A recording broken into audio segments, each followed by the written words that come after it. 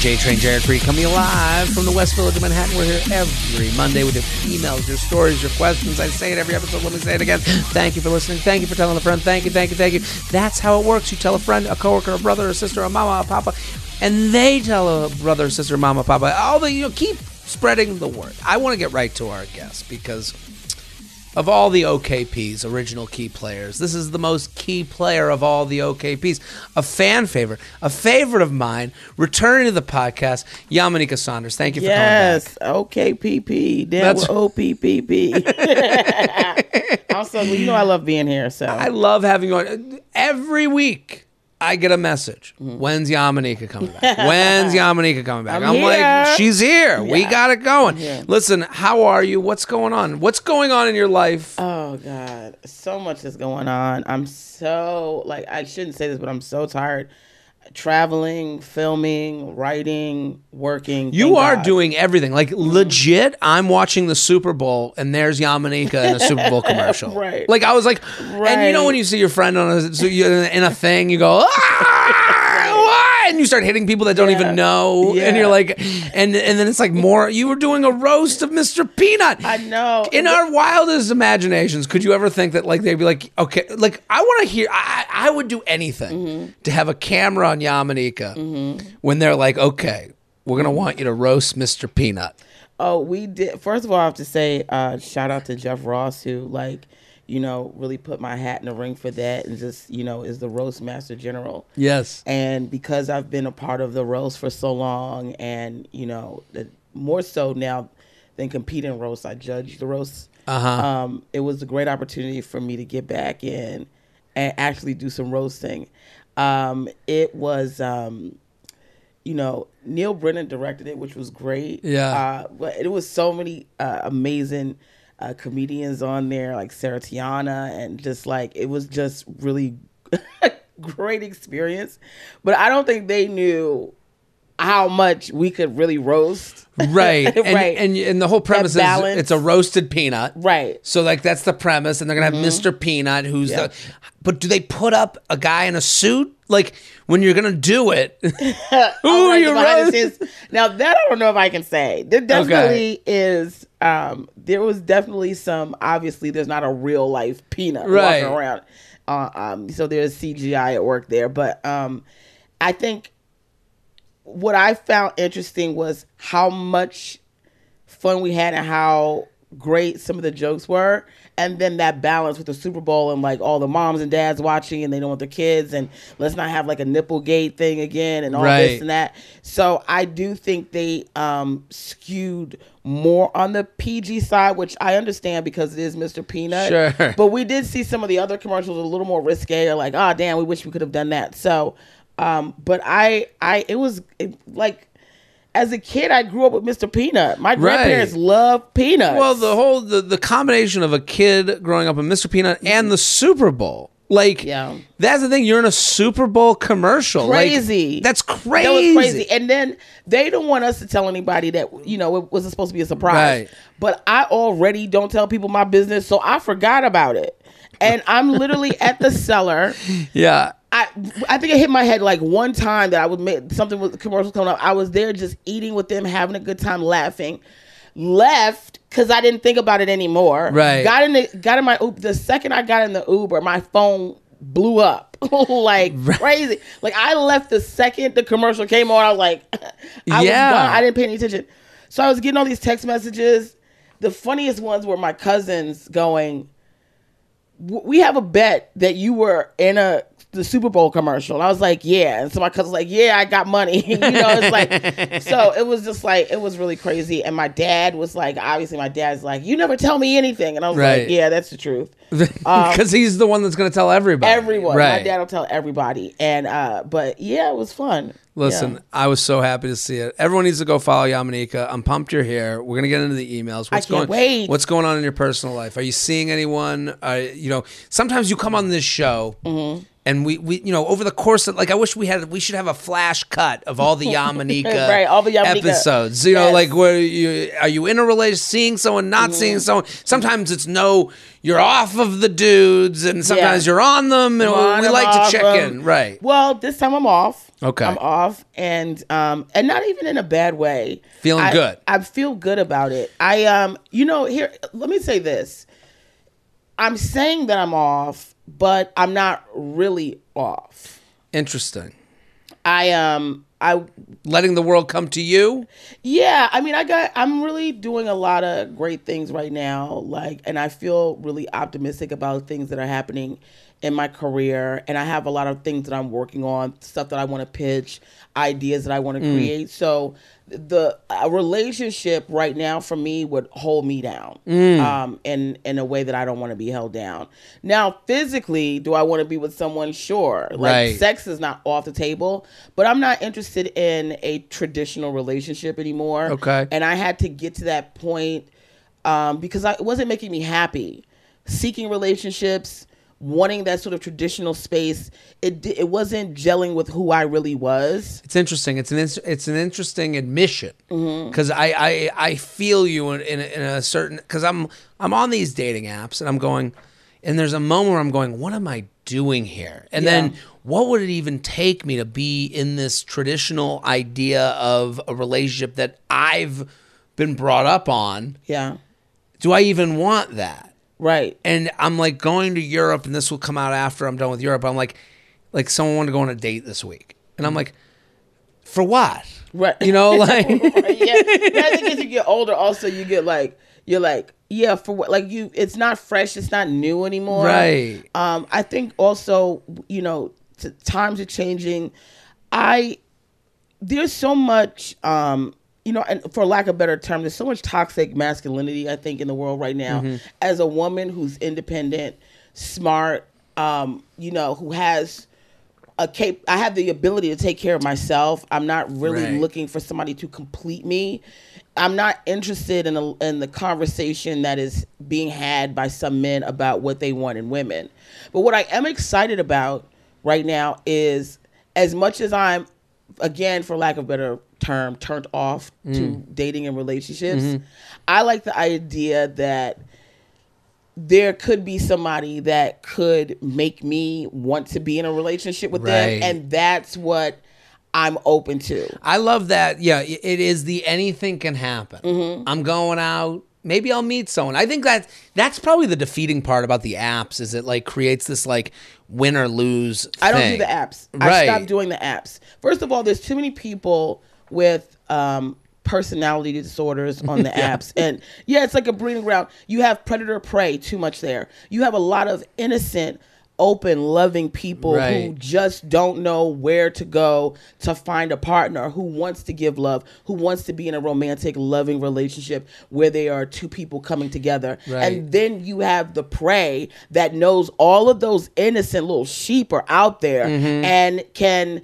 put on some wool and make it seem like they're also a sheep, but really they're just there to take advantage of your insecurities and your vulnerabilities. It's a great point because I, you know, they were created by male nerds.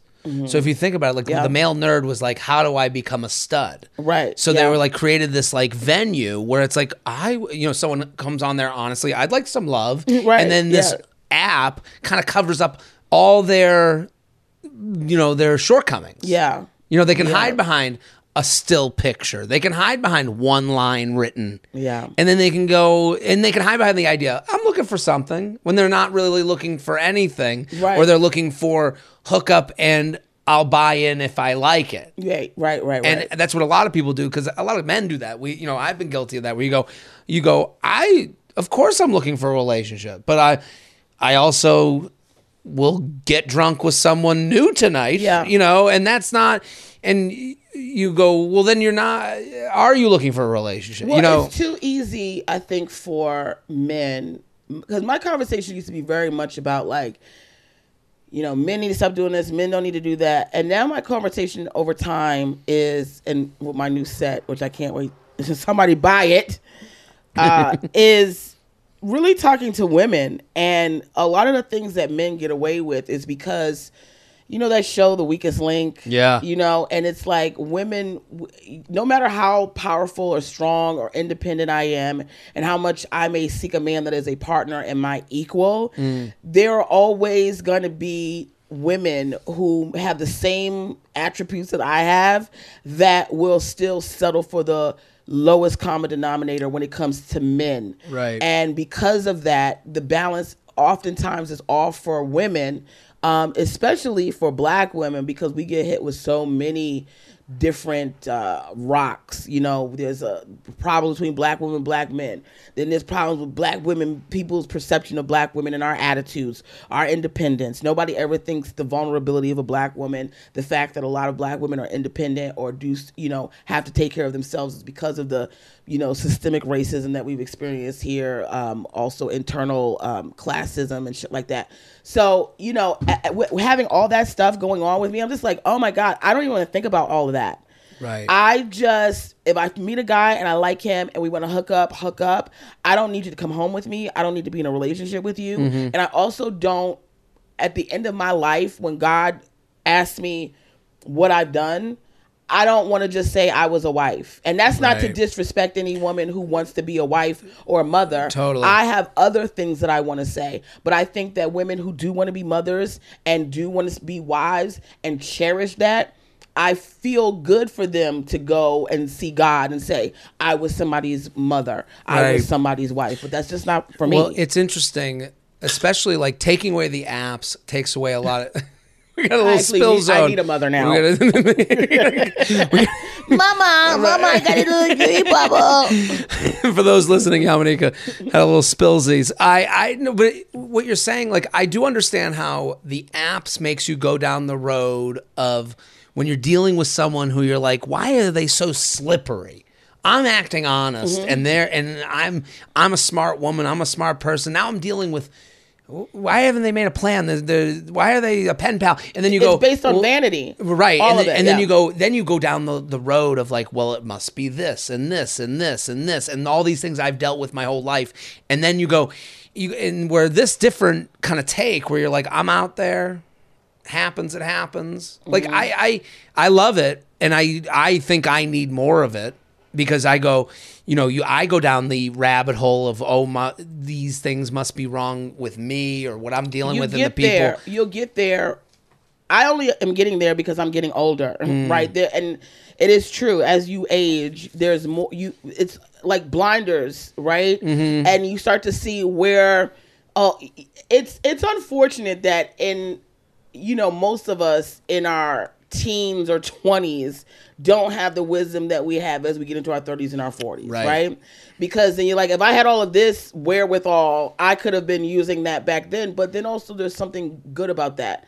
I stopped the apps because of what I said before about uh, the predatory ways, Right. But also because, and I say this a lot to uh, black women, obviously, because there's a lot that works against black women. But I also th- say this to non-traditional uh, women who are outside of that category of what it means to be hot and beautiful, especially in this society, and that beauty and the standards of what it means to be a, a beautiful woman is something that like Cornel West said in, in Race Matters when he talks about women as commodities to men. Mm. And I always tell women, it's like if you are in, a, if you are a commodity to a man, you are a possession.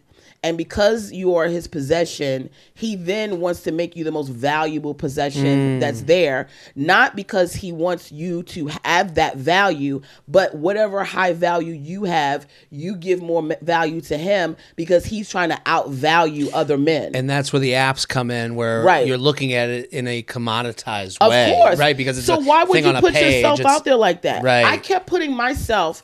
I am a smart, Mm-hmm. dynamic woman. I am unique. There, I don't think there's any woman like me, thinks like me, moves like me. I am an asset to Mm-hmm. any man that would want to be in a relationship with me.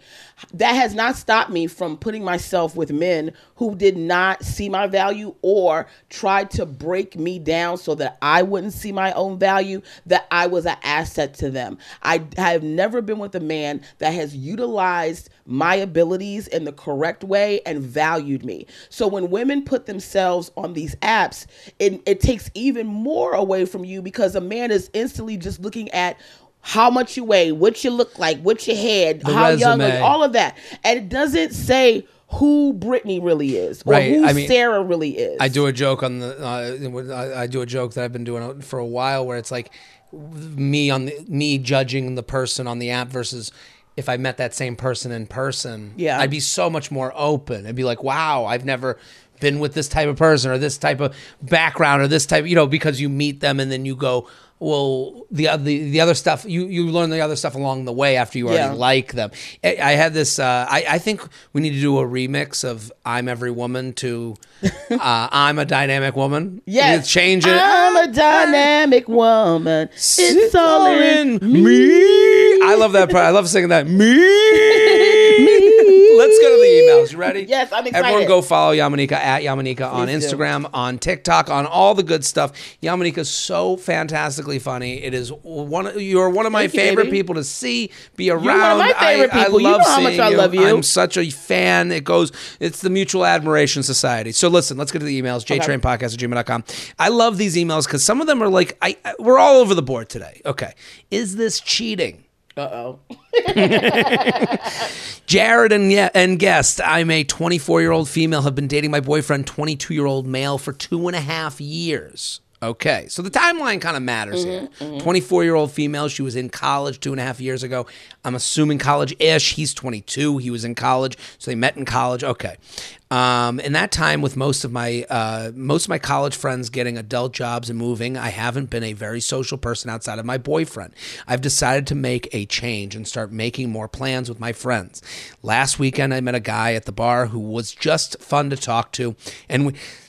I met a guy at the bar who was just fun to talk to, and we exchanged numbers. He has a girlfriend. We both agreed it's a platonic friendship, but I don't know how to tell my boyfriend I have a new guy friend. I don't want to hide it from him, but I also don't want him to feel insecure. Is this going to be viewed as cheating? I've always had platonic male friends, but haven't made a new one since we started dating, so I don't know how to mention a new guy. Also, you mentioned on Bachelor you love a giant hill elevator. Well, Dubuque, Iowa has one about oh. two hours from my college town, so please come to a show. Thanks for any advice. A friendly betch. What do you think of this email? 24 year old woman dating a 20 year old, 22 year old guy mm-hmm.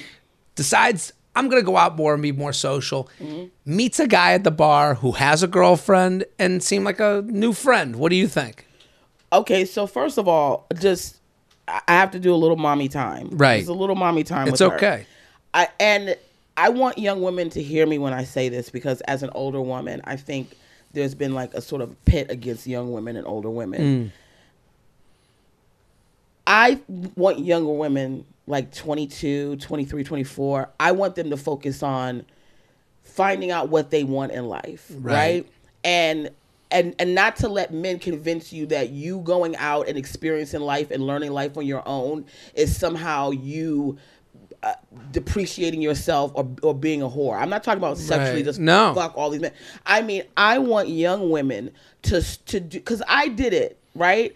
I went out there. I know what I like. I got to see life. I got to learn it on my own. It is hard to discover what you want and what you like when you are tethered to somebody. And being in a relationship, she is tethered to this young man. And now what has happened is if she's honest with herself, she doesn't want to tell her boyfriend because she probably feels like there is more than just a platonic friendship that she would like from this guy or a feeling that she has for this guy. I could be wrong, I could be right. With that being said,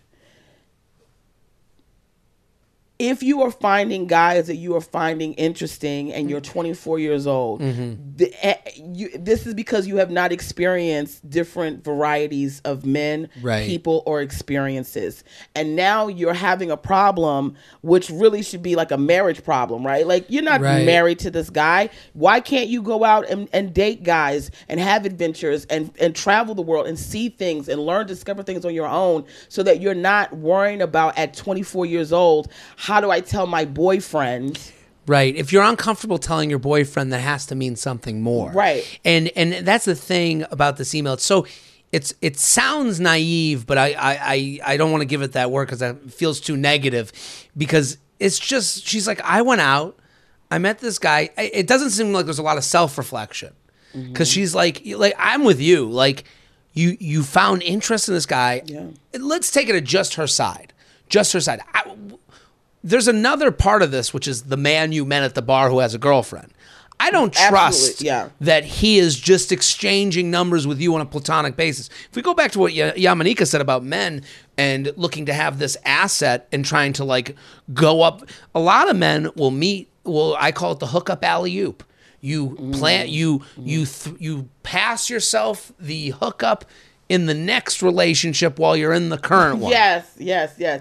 Monkey branching, they call it. Is that what they call it? Yeah, And monkey you- branching. j- j- Yeah. Mm-hmm. Going from vine to vine, so to speak, and Yes. Mm-hmm. holding on to one vine and swinging on to the next. Because this guy, I don't trust him. I trust her, the emailer, from the mouth of a babe. Like I, I, I, I trust that she's young and and doesn't sure and hasn't really thought of it and is thinking, oh, it's just a new friend. I haven't. She says I haven't made a friend since my boyfriend. Yeah, because you were in college. You don't make Right. right. You don't make a lot of guy friends out in the real world. There, there are there aren't all these guys at bars just looking for new friends. People are peaking.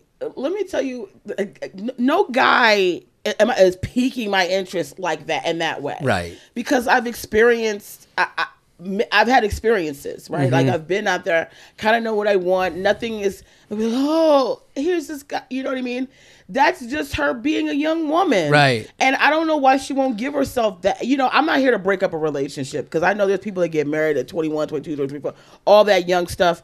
I just think that maybe you should think about what you want. That's Well- what I really want to say to her is like, what do you, because I've been in relationships in my 30s when Mm-hmm. I'm just like, a man could walk in with roses on a unicycle and i'm so into the guy that i like i i wouldn't i would meet him anybody new with my man. We would this would be our friend. Right. and then it would be a conversation about oh i want to meet your girlfriend. Let's see if maybe we all can hang out. It's those kind of conversations. But at 24 i think she's putting a lot of pressure on herself because it's like this you like this guy and you're gonna run into constantly run into guys that you like because you're just now getting out there Right. and that and that pool. Well, that, that's a big part of her email. First of all, it's not cheating. You didn't cheat by exchanging numbers with a guy. No, no. You didn't cheat. That's okay. but she has to tell her boyfriend. you got to tell your boyfriend, but she Yeah. wrote something very important. I haven't been a very so- social person outside of my boyfriend. That's why she's decided That's to what go I out mean by to yeah. the great big world. And you go,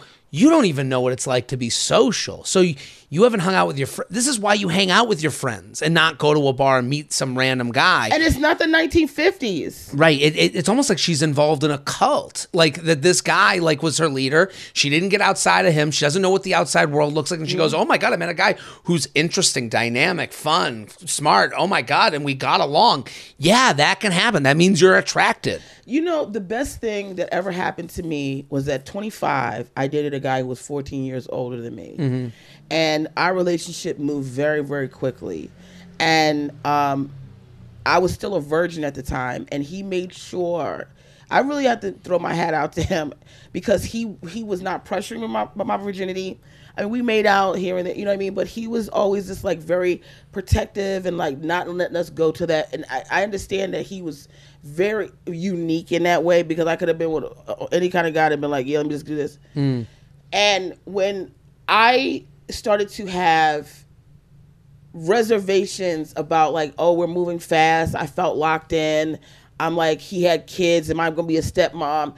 When we finally broke away one of the things that he said to me is he said i want you to go and experience life Right. you know like he said you should go and like you're you're very naive to certain ways you haven't done a lot you haven't really been out in the world dating wise mm. like this was my kind of my first real relationship at like Yeah. 25 and because of the reinforcement that he gave me I held on to that shit for two more years. You understand? Like I Right. with God, I was like, nope, this is not.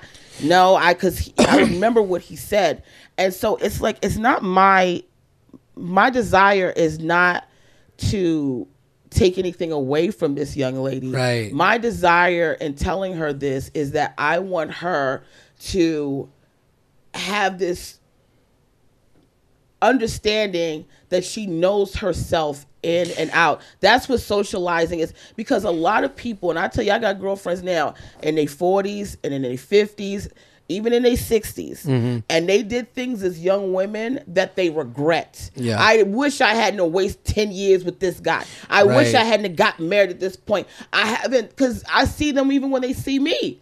Well, you know, it's funny because like we're reading this email, we're hearing it, and we're going. It's like we're two doctors, Right. Because we're going. She came in going, "I have a stomach ache," and we're going, "Yeah, it's the guy you're dating." and she goes, "But no, I think I'm pregnant." Right. It's and a, we're it's going, "No, no, no, no, no." You got young dickicitis. You got college boyfriend. What is it? You got yeah, you uh, got college oh, Yeah, boyfriend. you You're- got college boyfriend. Yeah, you got you got fuck nigga ears. what they call this Box of ears with a cauliflower ear. That's the thing. She came in thinking, "Oh, am I cheating?" And it's like, "No, you need to break up with your boyfriend." And it's okay, and you need to hang out with your friends. You need to know, and, and for her, for the sake of her boyfriend, Right. What we're really saying is, you need to know yourself more. and you don't know yourself. And you at don't all. know You're, yourself. you don't know the difference between liking a guy and making a new friend at the bar, and you're Right. thinking this guy wants a fucking friend. Uh-uh. Right. He wants this guy wanted to hook up with you when he's free after he's done with his girlfriend. Right. Or he wanted to cheat with you. Or you right, or or he could also just be the cool dude that just wants to be a friend, but you don't have enough tools in your toolbox Right. to know whether this is a leak, whether it needs to Right. be plugged, you know, cocked up. Right. You have no idea. She's got no taste buds, and, and and and to get taste buds, you got to hang with your friends. Yeah. You not you know not hey I got to socialize more. I'm going to go to a bar alone without my boyfriend. Oh look at me, I'm away from my guy. It's like no no no. Where's the girlfriends? Where are the people you've known your whole life? How do you fill your cup? Absolutely. Absolutely. Your work dress code might be boring, but your underwear doesn't have to be. Cheer up your wardrobe with fun underwear from MeUndies. They're incredibly comfortable and come in tons of patterns, colors, and cuts. Want underwear with the Toy Story aliens on them? Say no more. How about Grogu? MeUndies has that too. Now listen, I love MeUndies. They're above all else, they're super comfortable. I love, I love, I love wearing them. It's all I wear you're going to love them too. And and it is fun to have a fun design on your underwear. It's fun to you know it's a big reveal to your partner uh, to yourself. And honestly you have a pair of underwear that you're dealing with right now. You have a pair of underwear that you're like eh, it's okay. Throw it away. Do yourself a favor. That is uh, you know that is a, a gift to yourself and your mental health. Nothing is worse than wearing an uncomfortable pair of underwear. Ew Get more than just junk in your mailbox with a MeUndies membership. Choose a new pair of undies, socks, or a bralette every single month. So every single month you can get rid of something that is old and tired and horrible and replace it with a beautiful MeUndies product. Save up to 30% on any additional purchases and get early access to special deals and new products. To get 25% off your first order plus free standard shipping, visit MeUndies.com slash JTrain. Remember, if you're not satisfied, your purchase is on MeUndies. That's 25% off your first order at MeUndies.com slash JTrain, MeUndies.com slash JTrain. JTrain Podcast at gmail.com, JTrain Podcast at gmail.com. We're here with Yamaneika Saunders at Yamaneika mm-hmm. on Instagram. Go follow immediately. Every episode you do is a fan favorite. I get so many messages. I appreciate this that. Okay, you just roasted Mr. Peanut. Yes. Okay. This email is fantastic. Okay. Okay, this is perfect. Sisters Bachelorette Roast. Oh God. Jared, you're one of the funniest people on the planet, and I need your help with That's writing true. something. You're one of the funniest wait, people on the planet. we are the we are we know we forget that we are in the funniest group. Like there's like you know we're true, out there yeah. every night doing making the funnies. My sister, who's getting married, is planning to have a bachelorette in Napa this summer. She has asked me to write a roast of her and share it with everyone. Although I love to goof around with people in casual settings, I've never roasted someone publicly and I want to keep it lighthearted and fun and bring to laughs, not to tears. I started to write the roast with what I want to say, but I don't even know where to begin. What is your writing process with your jokes? How can I win this bachelorette crowd over? I only know a few of the girls there, so it's tough to gauge everyone's sense of humor. Anything I absolutely shouldn't say or should I say, I massively appreciate any and all feedback you have. So, okay, I am I've stayed away from the roast game as as a comedian. You, a professional roaster, Yes. what advice can you give this person for the roast of their sister at their bachelorette? I this Yeah. also when I hear this, I and I'm sure you have this too. You're like, oh, don't do it. Yeah. Even as comedians, we're not like pushing people towards more you're roast. professional, Right. But since her sisters requested it, um, she has to do it. right. You know, got to do it. I, I think one of the things, you know, I'm not going to tell you my my roasting style is very vicious, and I I I I listen intently to what people are saying, and then I try to use a little bit of their response. So she's not doing a call and response roasting style like Mm. where you're going up against somebody. Your opponent is actually going to be silent, right? Which Right. is her sister, and I think the thing that she should do is it's like get those sort of secret sister jokes out there. Get some of those Right. inside jokes with the family. Get some dirt on her from her friends. Like really do your research on people that are going to be there and how they have a relationship with her and then make jokes around that. No matter what you do, it's always best that you close up a roast which I like to do with a smile, right? Right. You really close it up and you say like, you know, whatever, Heather, no matter all the things I said about you, you know, tonight have been true. We've seen the worst of you, blah blah blah blah blah. But at the end of the day, I wouldn't wish myself to have any other sister. I love Right. you from the bottom of my heart. You're one of the most amazing people. You've encouraged me throughout my. So it's like give them that. That's what they're gonna really want at the end. Right. If for as much dirt as you throw in, there has to be an equal balance, not mixed in. Because Right. people will get confused if you start mixing in positive Mm. with the negative. Get all those jokes out, and then at the end, give it a full range of love, devotion, real sincere words to your sister, and that's gonna bring the house down. Totally. I, I love that advice. I'm going to add on to it just Yeah. based on things she's written. She writes, um, I only know a few of the girls there, so uh, so it's tough to gauge everyone's sense of humor. You No, don't fuck care. them. No, fuck them. Yeah. It's not about them. You zone in on the subject. Mm-hmm. Zone in on your sister. It's your sister, your sister, your sister.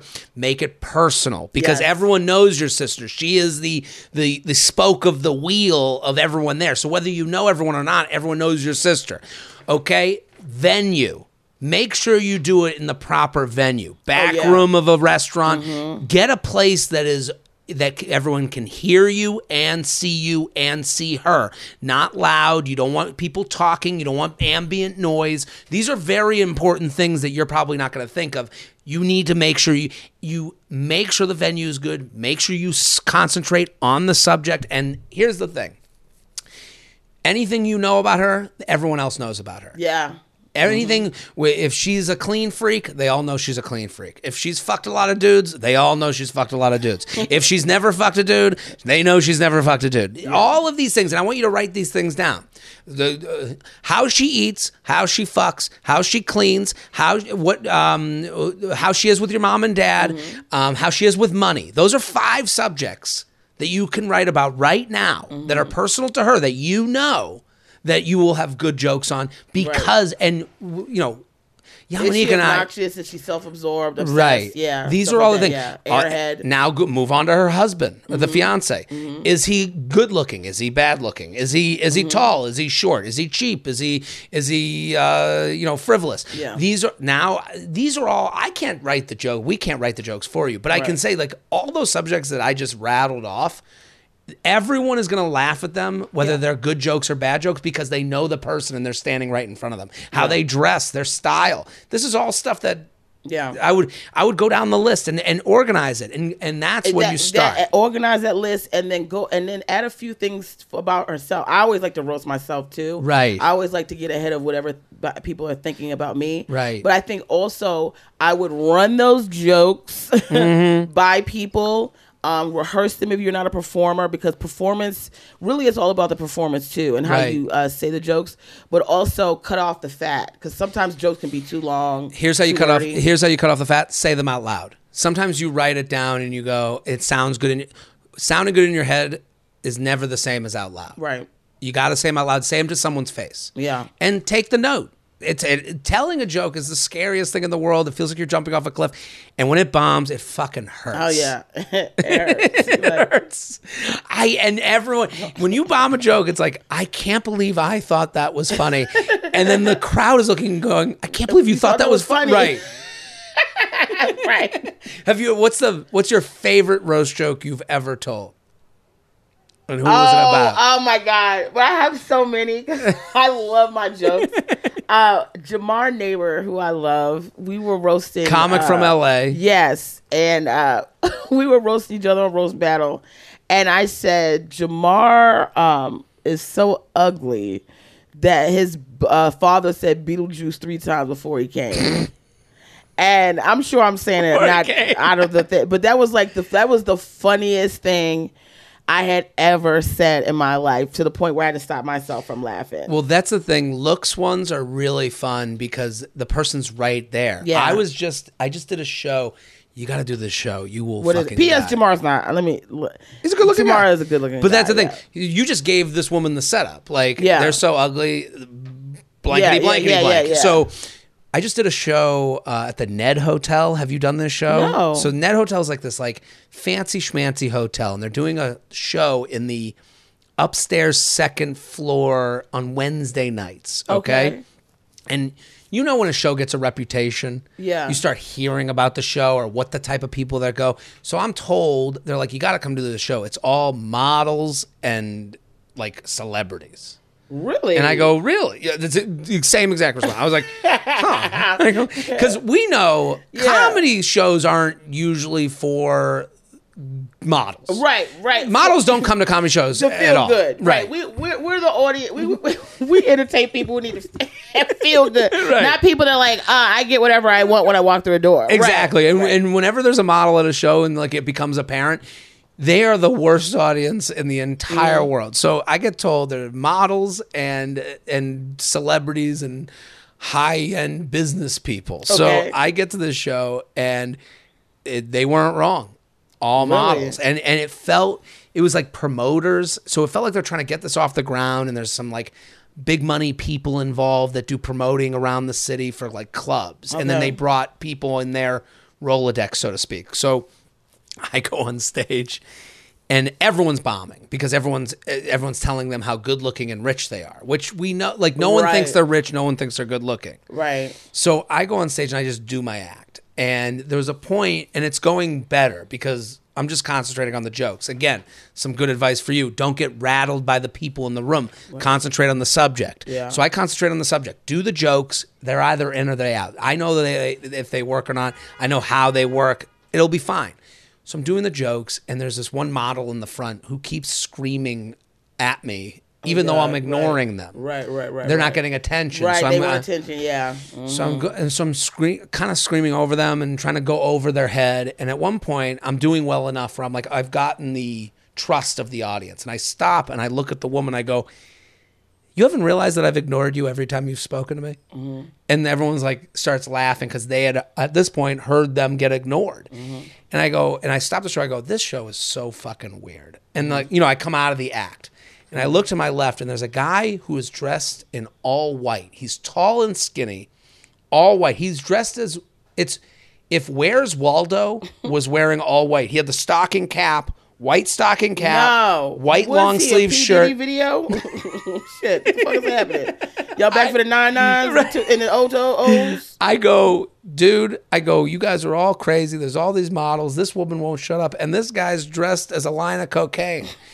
the whole room turns and looks at him. Yeah. And it's skinny guy in white stocking cap, white everything else. And everyone at the same time, literally at the same time, everyone just broke. Like everyone was like, that is the funniest fucking thing. And I'm laughing because like I didn't, you know, you just say it and you're like, Yeah. whatever, it's a throwaway line. But when people see the subject, Yeah. And they have it in front of them Yes. to go, and Yeah. it's like you see the puzzle pieces All come, together, for Yeah. everyone. That's what he looks like. Exa- Right. They're mm-hmm. all at the same time. That's what he looks like. Yeah, yeah, yeah, yeah. The bartender in the back, he's like stopping making a martini. He's like, I was so happy with myself. I was like, I will literally masturbate to that for the rest of my life. the room just going. so if you can concentrate on how they Yeah. look and present Yeah, yeah, and yeah. what you're Visual be is always best. always mm-hmm, best. So mm-hmm. Oh, I'm happy you were here for this email. We listen, Me too. It was godsend. jtrainpodcast at gmail.com, jtrainpodcast at gmail.com here with Yamaneika Saunders. At Yamaneika, go follow immediately. So fucking funny. 24 year old female looking for love. Hmm. J Train is a female in my 20s. I have always found dating frustrating. I'm a server, bartender, and MMA fighter. So I get a lot of attention from men, but I've always struggled to find the connection I want. The men I'm attracted to also have a lot of options and don't tr- and I don't trust them to want to lock it down and give me what I need in a relationship. I'm very wary of being led on, so I often end up cutting things off early. There are plenty of men who do want to lock it down and give me what I want, but I feel like these are generally people who are less attractive and have less options. And I can I can't force myself to be attracted to a box checker. I find myself attracted to toxic situations despite my better judgment, but I can't choose who I'm attracted to. I'm starting to feel like I'm going to have to sacrifice my feelings if I ever want to have good sex. If I keep cutting things off, I'm going to just end up lonely and horny, which sucks. I feel like I have so much power and so many options until I'm really into someone, then they have all the power over me. I usually uh, just end up having casual rela- sexual relationships with my female friends, but it's not that the deep romantic connection I really want. I'm open to casual connections, but not in the way guys want to do it. I know this is just the way things work, but I would love to hear your thoughts on this gendered conundrum. Thank you, Feather Feather. Yamaneika, what do you think of this email? Again, 24. I mean, it really is like we, the youth. I mean, 24. Right. It's like it's totally fine. I, I girls are always sort of put in this position of like wanting uh, relationships, seeking relationships. I mean, that's sort of been grounded into our heads. Right. Um, she's already doing something that's a, a non-traditional. I'm sure is also intimidating to men.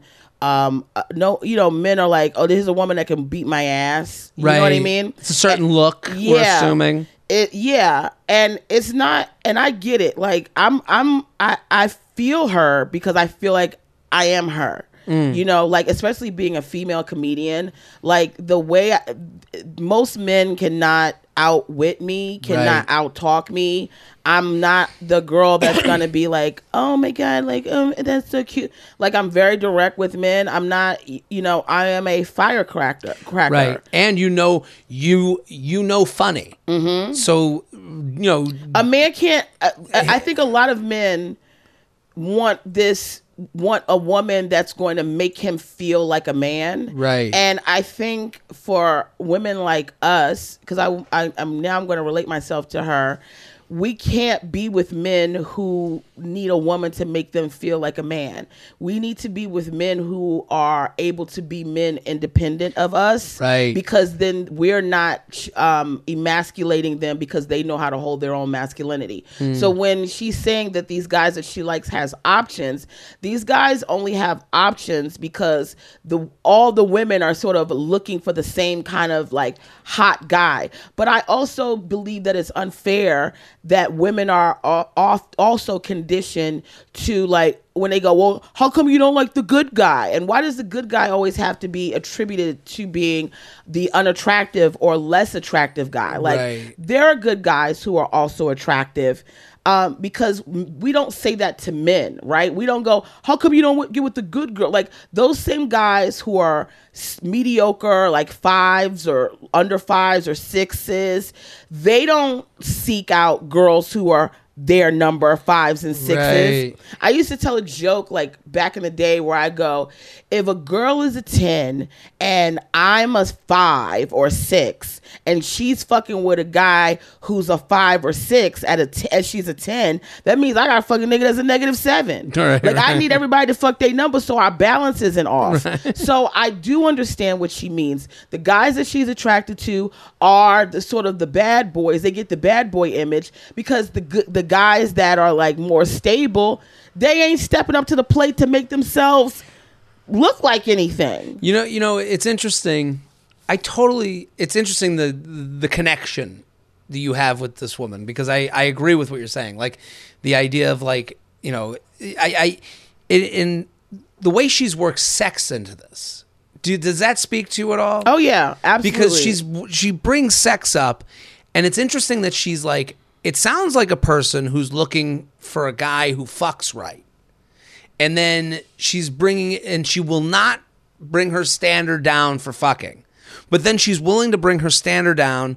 She goes i usually just have having casual sexual relations with my female friends. It's not deep romantic connection i really want. I'm open to casual connections but not in the way guys want to do it. And it's like she's already taken it down a notch. Mm-hmm. She goes, I want a relationship, but I'm open to casual connections, but it better be the type of guy who will fuck right and consistently and be in the phone with me. It sounds like she's already lying. It- yeah, I- there's. I think there is some lying to herself. I think there's some uh, settling that she doesn't want to do, but in some parts that she is settling. I, I mean, it's what I said earlier, and I've said like, if I just want to have sex with a guy, I don't want to be bothered with any of the other nonsense because it's too much. Unfortunately, for women, men like I constantly get um you know when guys troll me the first thing they go is like oh well she's not attractive. She's fat. She's this. No man wants her blah blah blah blah blah.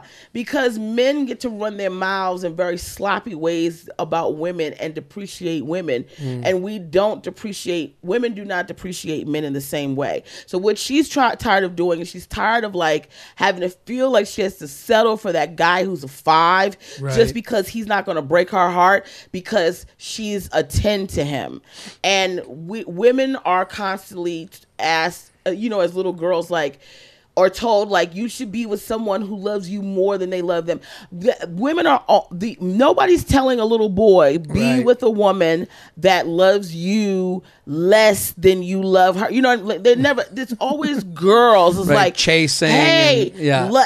you gotta let him love you more you know and He's so gotta it's chase that, you, he's yeah gotta- it's that double standard. And that's why i talk to women. It full, comes full circle again.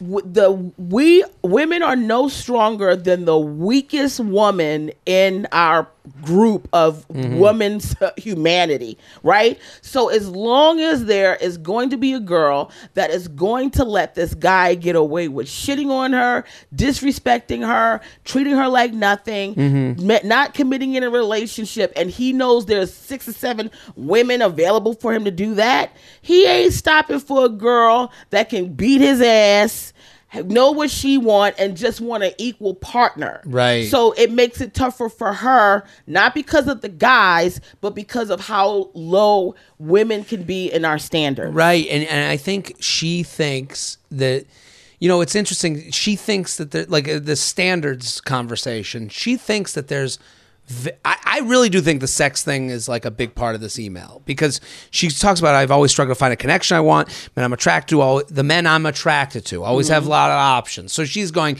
these sex, these these these I, she's got to change that too right, right. there She's got to change. There's this, You- there's they, guys. they don't have a lot of i'm telling you it's hard I, i'm telling you because as a woman i'm doing it and it gets harder as you become older as a woman because it's all the things that break women down are the things that men will depreciate about you she has to stop saying that these men have other options or better options she's got to only see herself as the op i mean i i really want to make this Please, please, please. because when if you as a woman don't think that you're the, if you don't come into a man's life like nigga i'm the best thing you'll ever Right. fucking get you will always be in this spindle until you uh, find a guy that you like on all connection levels Don't worry about getting into a fucking relationship. Right. If you see a hot guy and he doesn't treat you like you the best thing since sliced bread,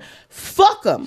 I guarantee you, the more you have that kind of attitude to these niggas and be like, fuck you, the more they'll be like, oh, hold on, let me put all these girls on the side. Cause there's something about this girl right here that she don't give a fuck about me like that.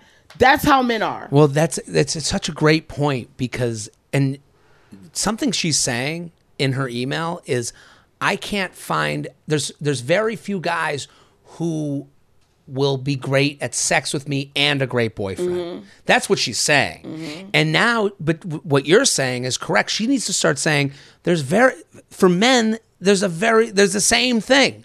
There's very few women out there who will be as good a sexual connection as you are with them. Mm-hmm. So she needs to think of herself as a high Yeah. This is I don't give she- a fuck what you look like. Every woman, every person. Because this sort of standard that we had of people rating people by numbers and Mm-hmm, bullshit like that, it really undermines the thing that makes us beautiful.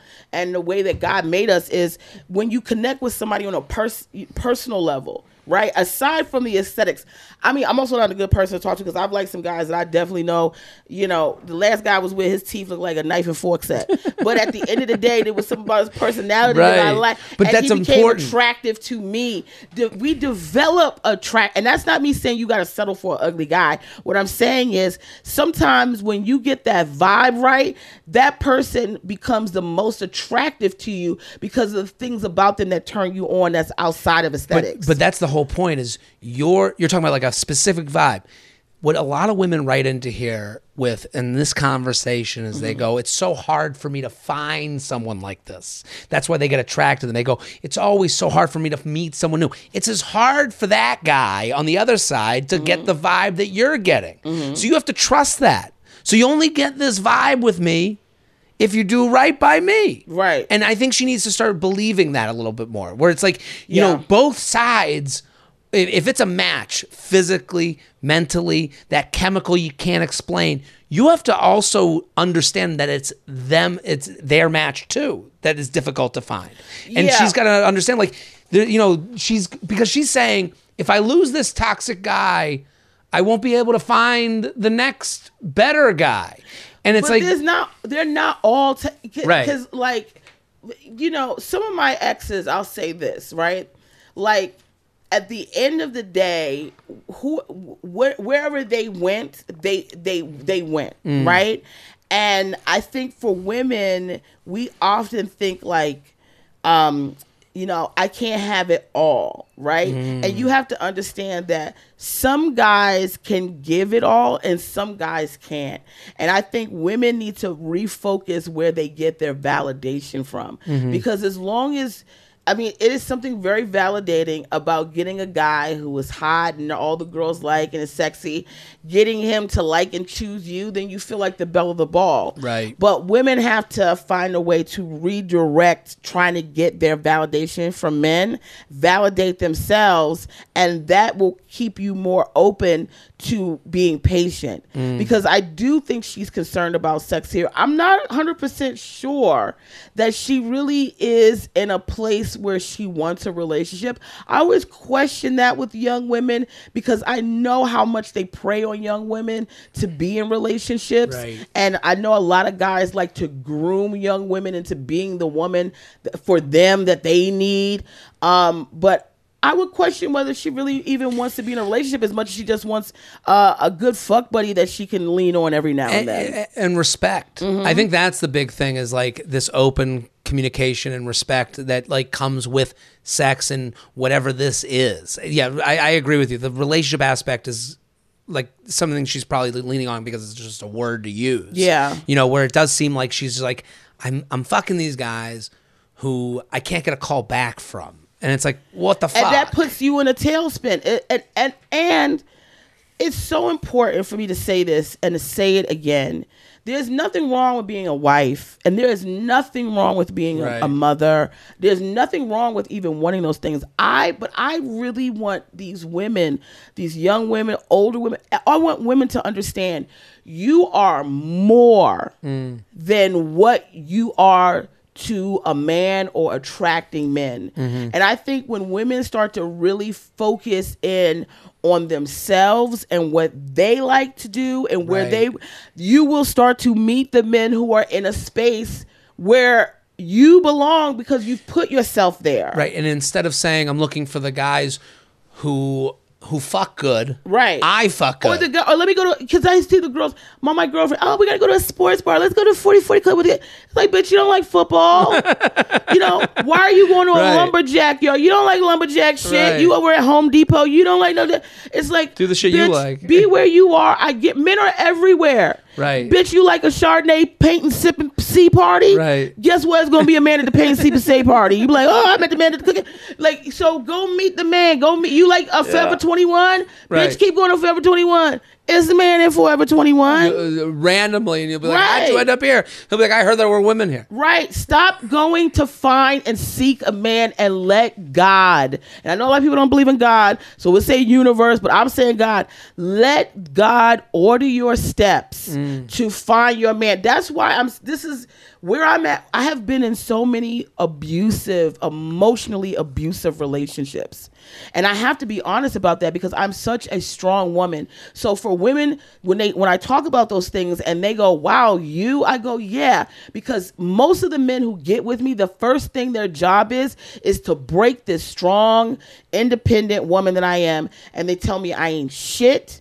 They tell me I've been told I was a fat bitch. I'm worthless. I ain't nothing.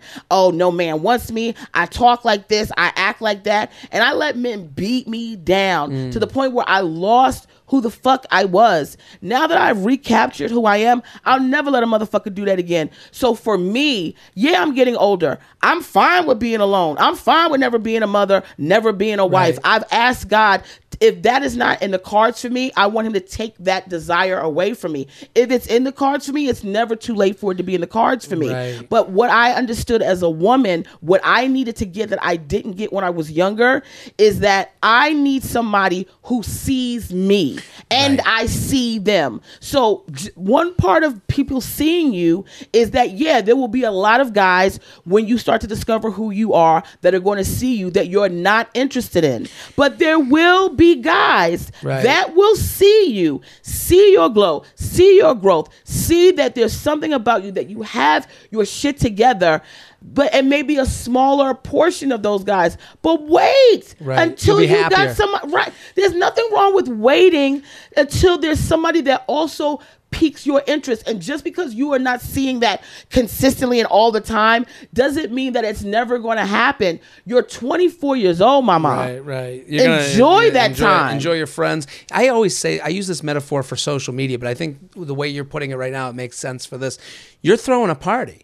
Yeah. It's the Yamaneika party. Yes. Mm-hmm. We're all dancing to the music. You you throw a great party. It's a fun party. It's a party anyone should want to be at. Absolutely. Also, there's a lot of parties on the block. Absolutely. And those are good parties too. Yes. If someone shows up to your party and starts dancing, you're going to be like, this is a great person. They like my party. They should be happy to be here. If someone walked in the party and was like, yeah, I don't know, can we turn down the music? Right, like, Get right, the yeah. fuck out of here. right? This is the music I play. And it's like, uh, and uh, you know, if, if someone comes to your party and goes, "Yeah, I don't, I, I haven't texted you in a while," you'd be like, "You haven't texted in a while? Get the Get fuck out of here! You didn't confirm. I love this. I love this party You didn't confirm Yeah. the party. I sent you an We invitation. ain't a fool for you. Right. We're eating a lot of pussy in this party. There's no pussy for people who don't confirm. You trying to get a pussy plate? No. no, no, no, no, no. You didn't even answer the the the, the uh what's the the party the invite? What's the email? RSVP. You didn't answer the, Right, the paperless right, post. Yeah. Oh We yeah. didn't put, we didn't bring enough pussy for you. Oh, we got to get you out of here. Right. Yeah, you got to go. Security. Oh, get them out.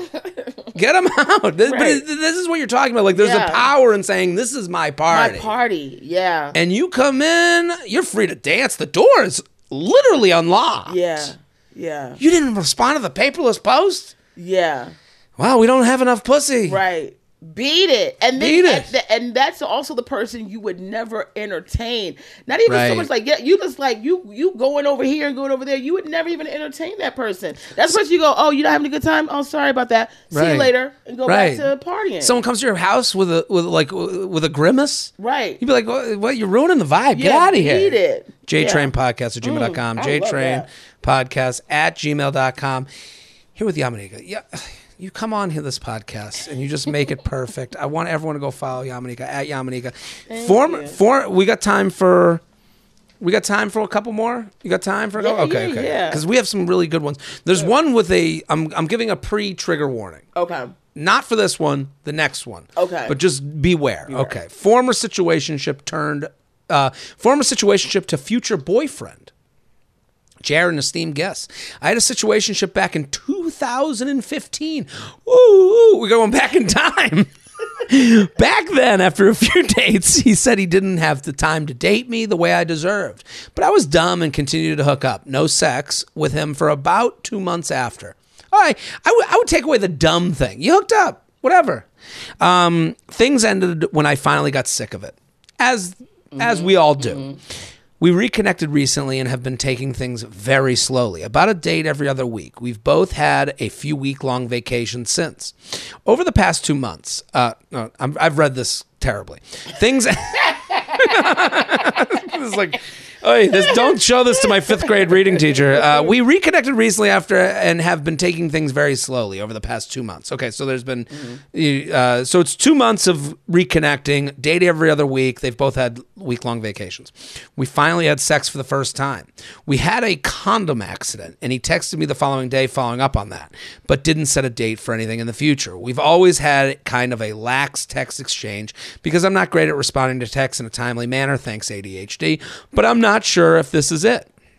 Is he still interested in dating me if he hasn't made plans two days later? Did he only want to sleep with me? I know you've said that whatever past relationship you had with a guy is where you're at further down the road, but things felt different this time with him. Thanks for all your amazing advice. So, what do you think? So, 2015 is eight years ago at this point. They reconnect. Um, They have dates every other week, have sex. She feels a vibe change. Do you think it's salvageable? What should she do? I think women romanticize what men have going on more than they should. Right? I totally doing- agree. He's gonna tell you everything.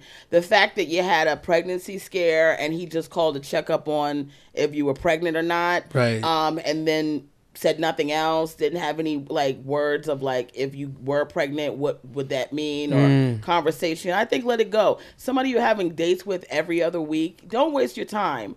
Um, and you can't You think let him go? I think she should let him go. Mm. Absolutely. I think that um and I'm also an ADHD girl. Yeah. Right? so I know, you know, hopefully she's taking medication for that because those voices in your head, girl, tell you all kinds of shit. You be talking for that guy and have no idea what's happening in real reality. I also don't think he, you know, wh- I, I know it's hard. It's a it's a tough market out there, but I want women to go back. And this is not me being a prude, by the way. Okay, Yes. no. But I want women to go back to the sac- sacredness of their body, Mm. right? And your body is a is a sanctuary, and not everybody gets to come into your party. Right. And so, for somebody to be comfortable with seeing you every other week, and you're talking about relationships, what kind of relationship is that? Right. where you can go if you can go a whole week without seeing me and you can barely text me it means you're not really in committed into this relationship and we've already been there done that Right. I, I think it's like uh, I I totally agree with you where it's like been there, done that. Because the you know and the romanticism thing that you said is is perfectly true because it's like it's not that deep. You know, like he came back to you because he was like, yes, she was hot. I'm attracted. She's door was attracted to me. The- yeah, the, I'm gonna go back to the party. right. And and then he kind of took it a little bit lax you know every other week. And and sometimes that happens you go back to people when you're bored you're looking for attention you and i think in his mind he's going maybe it could work right? And i think from his end he comes back to you not thinking like oh this is someone i gotta have sex with i think it's more him thinking oh, this is someone who is Mm-hmm. attracted to me and I'm attracted to them. So maybe I could make it work. I, I don't think it's as diabolical as it seems. I think he's. I think she can make. He can make her settle for what he's giving her. He's breadcrumbing her. Oh, right. Yeah. Yeah. So it's like a little bit of reinforcement to make sure she's not going. I would say like, where is he having sex? Because you think he's a guy and he's having sex every other week just with you? Like, Well, I don't. know? I, I don't think it's tough because I want to say to her like, I she's probably likes him too. She's probably like she's she, having she the likes him enough to write this and get information. right, on- and and you. I think her conversation with herself is the same as his conversation with himself. I think Let it's like, what happened then? Why didn't we get together? I don't ever want to speak to my eight year ago self. Because I done, done- I done moved on. You know what I'm saying? Like, one of the things about me in a relationship, when I break up, I take them very, very hard. It takes me a long time. I've Mm-hmm. had exes that's taken me two, three years to get over. Once I'm over them, I'm done. None of my exes, I, I have an ex that I talk to off and on. Um, I've entertained hooking up with him just on just like, you know, like, oh, let me get my rock real quick. Right. But I would not go back into a relationship with any of my exes. I would not repeat because there is a reason why you're not with that person. Do not Right. go back to spoiled milk. Do not go back to an old apartment. Do not go back to an old job. Do not go back to an old man. Eight years ago, you were in a different space, in a different mind. Right. I would want to see. I know this girl has grown in eight years. I Right. know she's, and that's the thing that's piqued his curiosity with his little stingy ass. Is he's come back, he's seen the woman she's developed into, but he knows that there's still a part of her insecurity that will allow her to take crumbs from them. Right. And don't do it, girl. You are better than that. Shake them off. right, and she needs to dump him. Yeah, I think that's a big Dump part him, of this. right. You got to dump that, him. You, that closure. There's gotta be a closure. Close that door and go. No, no he's contact. never going to give you closure. He's going to go, no. Well, I thought, well, we, you know, I just want to. Uh, I was, I, I thought maybe we could, and I'm not. Bu- I'm busy right now. No, No, no, no. You need to say, hey, you made me feel like shit after we fucked. That's enough for me to go. No, Mm-hmm. No. I'm done. right. And you got to do the and breakup. it takes up but it takes It's hard. it's really and i want i i don't want any woman to see me and think like oh yeah I'm, you know i come on here a lot i have been the woman with low self-esteem i have begged a man i have cried i have done all of those things so Mm. i understand what happens when you like somebody or you fall in love with somebody that's why at this point in time i'm very protective about who I will give my heart to and who I'll give my love to. It has to be somebody that is going to handle that shit with care. Right. And you know if a guy is going to handle your shit. Even for guys, you know if a woman's going to handle your shit. It's it's how they take care of you in the in the beginning, but also be very very wary because there's this thing that narcissists do. People who have narcissistic personality disorder, and I dealt with somebody who had narcissistic personality hmm. disorder and psychopathy, complete mental job, nutcase. Is at the end of the day, they can love bomb you. So you have to You gotta like look be for but you have fortified. to You, gotta be. yeah, you have to. You it's it's hard. It's very tricky because you. So a lot of times we think we found the person that really really loves us, and it's a love bomb. It's not real love. So you have to have intuition. You have to um, really think things through. You have to be very careful who you give your heart to because a lot of people will take your heart and fuck around with it. Well, he kind of did. If you think about Yeah. this situation, like the more I think about it, and and the more he kind of fucked up. Or it's it's kind of fucked up because he's going. I I know this person liked me enough because she said when I finally got sick of it, things ended. So you hooked up in 2015. You were like, I'm sick of it, and then he kind of knew that he just let her go and let her go. Yeah, he and then go. he comes back into your life slowly to see if she's still the same woman she was eight years ago. Right. And you go, and now you're taking me on dates. It's not like they went out, Mm-hmm. got drunk, and fucked. Like that would actually be okay. Mm-hmm. It this was a oh, we go on date one and date two, and then the minute I need to feel like I've made the right decision after we've been together physically, you drift away. And it's I'm like telling you, he- she I doesn't w- like him. I'm Right, telling- it's deep fucked. down inside, she he- does not like him. She wants validation, Right. Because it's like, can I get the guy that is being aloof with me? And Right. what I'm gonna tell her right now is the most powerful feeling she will ever have is to do what you said. Let him go, because then you will know that you are in a better place, um, emotionally and with yourself than you were eight years ago. and he's as confused as he was And back yeah, then. Yeah, he's never matured. JTrainPodcast at gmail.com, JTrainPodcast at gmail.com.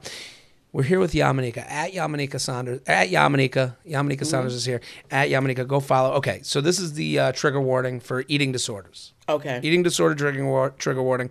Um, it's a ridiculous email. Even though I'm giving a trigger warning, it's like kind of ridiculous. We're gonna read it. Ready? Okay. Barnyard sounds at the dinner table. I'm happy you gave a laugh at first because it is ridiculous. Okay. I think I know where this is gonna go. Jared, an esteemed comedy guest. Feather, feather. Love the pod. Hope to see you live ASAP. Hoping you have some words of wisdom for a situation I'm struggling with involving my mom. Mm. Background I'm 32, and up until a few years ago, I was anorexic. Struggled for uh, weight. I'm now with it for 15 years. But through fa- therapy, I finally got up to a healthy weight. I'm now working with a doctor doing ketamine therapy to curb invasive thoughts about my weight, and it's made a huge difference. Well, we're very happy for Yes, you proud of that you found a therapy that's working Absolutely. for you. My mom is a therapist and knows I've had an eating disorder. We recently went out to dinner and I ordered guac and chips as an appetizer. We ran out of chips, so the server offered to refill. I said, sure, thanks, and internally celebrated how far I've come. Mm-hmm. I felt so proud of myself. Here's the issue as soon as the server walked away, my mom turns to me and says, oink, oink, and laughs. That's like insane. Mm-hmm. I said, Mom, that's a flag. I've asked you not to make pig sounds at me while I eat before. I can't hear that shit. Hey, before. So this has happened. Uh, uh, this is. For it to happen once to me, as crazy as it sounds, is in a movie where I'm like, that's bad writing. The- the- okay. She replied with an eye roll and said, Oh, I forgot you're so sensitive and I have to completely change the way I speak around you. And I angrily, I angrily replied, Yeah, you do. And we moved on from the conversation. It really stuck me how messed up the whole thing was. After a few weeks taking some time to think, I emailed her and asked her to do therapy with me since the two of us talking has never changed this type of behavior from her.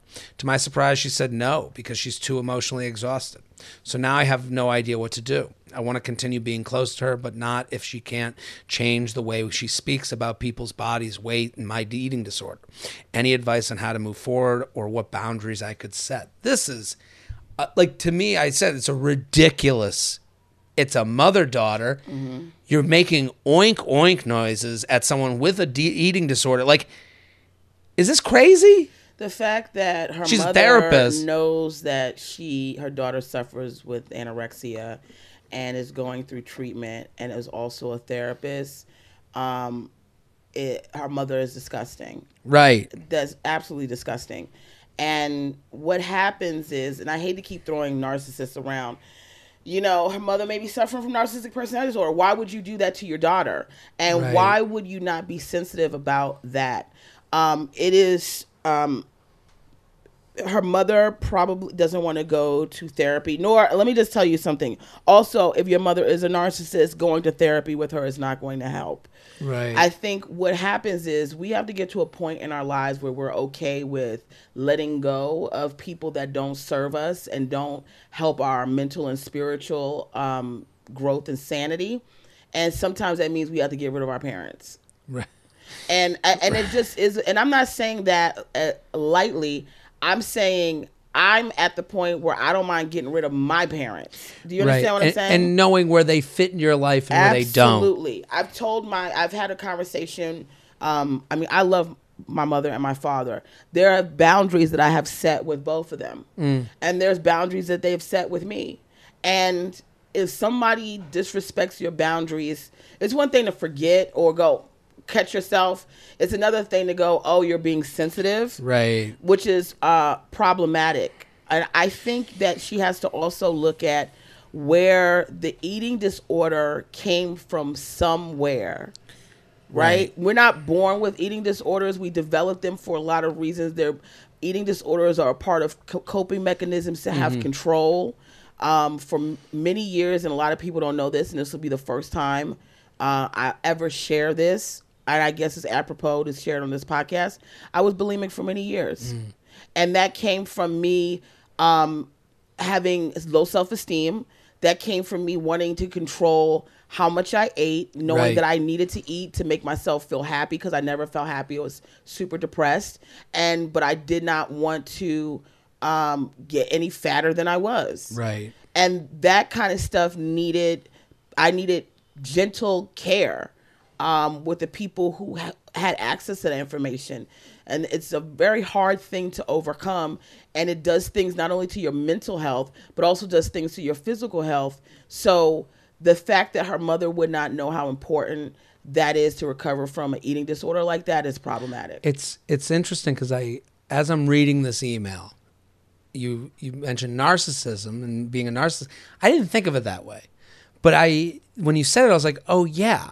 Because as I was reading, I was like, oh, I was like thinking of like the most empathetic, you know, uh, way I could think of the mother, as as much of an evil villain she is in this email. I was like, well, I guess in her mind, she's been dealing with this for years and years and years. But that's a narcissism to go, oh, again, this is ha- again my daughter's eating disorder is happening to me. That's a narcissist. I never and Her I never thought a reflection of her, Right. Right, and but not in a positive way, Right. Not in a way that her daughter can look like any, you know, be big or small, and she have love for the daughter. It's this now conditioning to um, make sure that the daughter's not going this way, right? But in Right. an abusive way, and in a way that really exposes her daughter out in public like that is crazy. it's crazy and and i again it's like hey we're just not going to do dinner anymore. I want to spend time with you but mm-hmm. you've ruined that. You mm-hmm. again to go back to the party analogy i'm having a party. I, i'm ordering chips. I'm, I'm i'm putting out chips and you're and you know what happens at this house. You know how this house works. And you're saying oink oink at the table? Like Right. when you know like it's almost like you're trying to test me Yeah. at my own event. And it's like i guess you don't get to get to know me on this basis. We're gonna be mother daughter we're not gonna be we're- Absolutely. and and that's sad but it's also a relief i would uh, It's it not be sad because oh, oh, she'll start get, distancing from her mom. Right my- she tried. That's the thing. She tried. It's not like she didn't try Well, she can sit. Okay, I'll use my mother and I as an example. Yeah. There's certain things I my I do not want my mother to talk about with me. Right. Just off the like more more like fa- certain family members. okay, she start- like I just don't want to be Mm. Right. like I don't want to hear it. And my mother will still. What what happens is, you know, if you mind if I, I say this about so and so and so, or if I tell you that, I, and I go, oh, the only way my mother's gonna get it is is when she does that. I have to just go complete silence, Mm. Or I have to go, all right, mom, I'll call you later. Click. right So now she doesn't do it. right because if she wants access to you Right. she knows Right. that is a non-starter Right. If you want to stay on the phone with me, Right. Don't do, or it's click time. Right. And you know, most mothers want relationships with their daughters. Absolutely. So you have to understand like the you know, the listener, the person that's watching on YouTube, like you have you have value in this situation. Mm-hmm. Your your mom does want to hang out with you. She's at dinner with you. There's a reason she's Mm-hmm. And there. if your mom doesn't, that's even more a reason to get away from your mother. Easier. Then then it's all simplified. But now your mom wants to come to dinner. She knows the rules. And it's like the idea of like I when she gets back to you and says I'm exhausted by this, it's like, okay, so then we're not going to exhaust ourselves. I'm not going to try and change you, but I'm also not going to be at dinner with you. This is Right. Absolutely. right. So Right. so we're Right. le- both of us are less exhausted. Cuz and this is a sad I mean this is a sad tale. This is like I, I also it's so extreme. I, I can't believe it, but I guess I can mean, believe it's that it. mother daughter thing. Sometimes it happens. Sometimes mothers are jealous of daughters, vice versa. I mean, it's. I, I feel bad for her because I can only imagine going through all of that. I can't believe her mother did that. But I also want to say that we got to stop. And I'm not saying she's doing this, but as a collective, we have to stop acting like people who are therapists and psychiatrists are not also people who need therapy and psychiatry. right, right, right, right. And she's probably saying that to her. Well, I, you know, it's like she's probably self therapizing in her own hero way. You know, she's going, well, I, yeah, fuck, fuck this mom. JTrain podcast at gmail.com, JTrain podcast at gmail.com. We got one more. You ready? I'm ready. at Yamaneika on Instagram, TikTok, everything. Go follow. So funny. Is it normal for guys to not come? Love all things Jared. I'll get right to it. I've been dating this guy for about six months now. I'm 28. He's 30 next month. We met on Hinge. The first few months were fun, but our in The first few months were fun, but our incompatibilities have been starting to show. I'm wondering if I'm seeing them more than he is, though. Anyways, my question is Is it normal for guys not to finish? For perspective, he's not finished more frequently than he has. It seems like it's happening more recently the past few weeks. We've talked that we haven't had sex haven't we've talked that we haven't been having sex as often as we both like. Our social lives aren't so compatible at times and it's hard to find the time. But even after we planned an intimate night, he still didn't finish. I realize that society puts pressure on men to always finish, that it's okay if, if girls don't. But the frequency of this is just just not typical for me. I ask if there's anything I did or if there's anything I can do to help. He says it's not me and he's just too in his head. But it's hard to not take this personally at this point. Like, hello, I'm naked on top of you. Or to overthink that even our physical life isn't compatible. Anyways, how often does this actually happen? How much can a guy really overthink coming? Is this something that will pass, or is this a larger issue and we're just not meant to go on? Thanks. I'll finish this email, but my boyfriend won't. Love the sign off. What do you think? I hate to do this again. Okay, you're gonna break up another relationship. I know I'm not here. It, it, I need to know more. You Right. know, I need to really know the dynamic to give an honest answer. But I will say this because I have become sort of an expert in narcissistic personality Mm-hmm. disorder, which I want people to understand is very different than just being a narcissist. Uh, I'm talking about the cluster B personality disorder, um, narcissism. Um, is that oftentimes in relationship with narcissists in the beginning it's very good and it's hot and it's heavy and then it becomes a control thing and a devaluing thing for them to start to withhold or act as if they are not able to um, perform uh, in certain ways so like the f- there's something going on there. I just don't have enough information. If if a, if he's not able to um, reach a climax with you, you should get away from him. It is only going to it's right because it's only going to tear down her Right. self esteem. You know, And it's I've- not gonna get better from here. no, it's not going to get better. And it's like I've been, you know, one of the most painful experiences I ever was in in a relationship was a guy who tried who started withholding intimacy from me and started making me feel like I could not ask for intimacy and that he was the one that had to dictate it. And then going to bed at nights with him where he- I would be like in a nighty or like nothing and he wouldn't touch me at all hmm. it starts to make you feel bad and it's a part of a control thing. I don't want to say that this is that because I don't I don't know what his real re- interaction with her about this whole thing because he could just be embarrassed.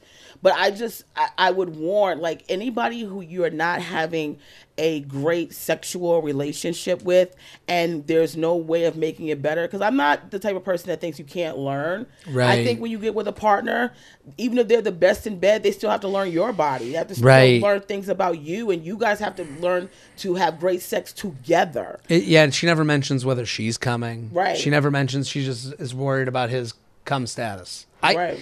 listen. I will say this about myself. I'm not a doctor. We've had urologists on the show, and I, I forget his name right now, but he was on U Up podcast, and he talked about like the one thing he he said that a lot of this is mental, and he brought up uh, if someone's watching a lot of porn, that this is kind of a result of that. And but he never and he goes there's you know he brought up some medical things so i'm sure this guy could go to a doctor and i'm not a doctor i'm not but i will say this about my own life and my own cum status i've noticed that when i'm at my health when i'm doing well mm-hmm. physically mentally mm-hmm. penis works. Right. I'm cool. When i'm not doing well right. I can't come or I come too quick. Mm-hmm. You know, it, it, it's almost like the barometer of where I am physically and mentally. Right, that makes sense. So it, you know, and I've I, and I've only noticed that looking backwards, where I'm like, wow, I was a, a good partner then, and I was something was off about me then, but it was really, again, when I couldn't come, it was drinking too much, right? When I when I was too sensitive, uh, I was watching too much porn, or you know, not really. You know, That excited, desensitizes you. Yeah. desensitizes, or Yeah. you know what I mean? Like I was, I was, I, I wasn't the best version of myself. I was, I was, uh, or, or when I was not able to you know get going it was because oh the whole oh you you weren't right physically when you were drinking six nights in a row Right. right like what did you expect Right. and Right, when she right. said she wrote something very specific in her email she was like we're on two different social calendars and it's like okay so what is he getting up for is he Mm. Right. getting up for and getting up is a pun intended i guess Right. but what is he mentally physically gearing up towards is it date night with you Right. or is it for the other things and then you're kind of a side dish Right. Right. Right. Right. and the other things don't have to be other women they could just mm-hmm. be i do i like to want i want to go get fucked up and do bad things for myself and then i have a girl that i hang out with also right. Right. so i think this is something to like unpack is what i'm saying like because i notice it in me mm-hmm. like i've uh, looked back on certain situations where i'm like man i i was a worse lover right. because i was looking to eat or drink Right, or watch right, porn. right, right, you know? so and you go Yeah. and so uh, back to what you're saying is like this might not be the guy for you because he might not be totally as invested as you. Mm-hmm. like you're there being like how do we make this yeah, it- this wood you, don't know shit because like and, and she said in the beginning she was like it was it wasn't like they didn't have great sex and good good times and he so whatever's happening with Some- you papa you he got I mean? comfy cozy Yeah. so that, that's the thing maybe he's gotten too and i've had this and um, listen i'm speaking from my personal life where i go man i was so comfy cozy in this whatever this was that i Mm-hmm. became lazy with it and i wasn't a good partner and you go oh that that directly goes to the penis Ab- absolutely yeah so the penis is like almost like this.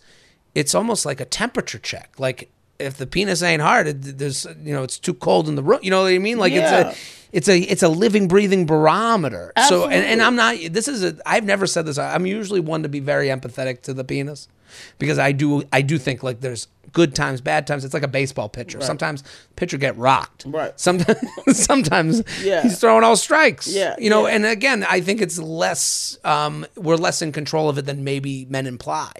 But I will say that I've noticed this as I get older because, you know, as they say, you know, as you get older, you know, twenty mm-hmm. I could be in a back alley. Well, let's make it happen. right right you know, right, maybe it's a little different now. Right. And I'm noticing the connection between mind, body, physical, Yeah. and penis. she's got to do something because you ain't trying to keep pouring penis in your pussy No, you know what i'm saying like no, it's worn out penis. yeah. No i don't want a cup of penis No. go get your shit together call me when you get it together JTrain Podcast at gmail.com. JTrain Podcast at gmail.com. Yamaneika. Another classic. Oh You're my the God. best. Everyone go follow Yamaneika at Yamaneika. Everything she does is fantastic. Uh, You're you so want to sweet, you want to be involved in the Yamaneika. I always used to say this on the podcast back in the day. I'd be like, you get the rookie card, and I'd be like, you get to know Yamaneika when you know Yeah. you get to watch the Super Bowl commercial like I did and go, Yeah. Holy fuck. yeah So go follow. I love Yamaneika. I'm Jared i love being here thank It's the you best. At Jared Freid, JTrain Podcast at gmail.com. Back next week. Boom.